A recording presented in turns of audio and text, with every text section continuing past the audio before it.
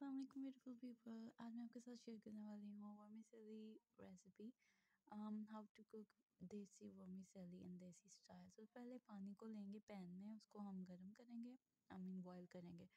तब तक सवैयाँ निकालेंगे वर्मी सैली को पैकेट से एंड उनको अच्छे से साफ़ कर लेंगे, चुन लेंगे बिकॉज़ मेरी मामा बहुत स्ट्रिक्ट है इस मामले में तो हमें उनको चुनना पड़ेगा। कोई उसमें कोई ऐसी चीज़ ना हो जो हमारे लिए अच्छी नहीं है। उनको अच्छे से चुनने के बाद उनके साथ थोड़ा सा खेल लिया जाए।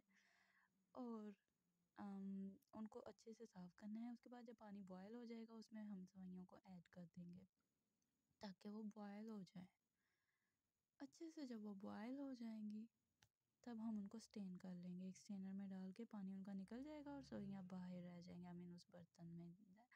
उसके बाद हम उनको सवैयों को गर्म बॉयलिंग मिल्क में डाल देंगे ज़्यादा देर बॉयल नहीं करना हल्का सा बस उनको जरासीम निकालना है पानी में बिकॉज़ मेरी मामा मानती हैं ये सब। फिर उसमें चीनी ऐड कर देंगे।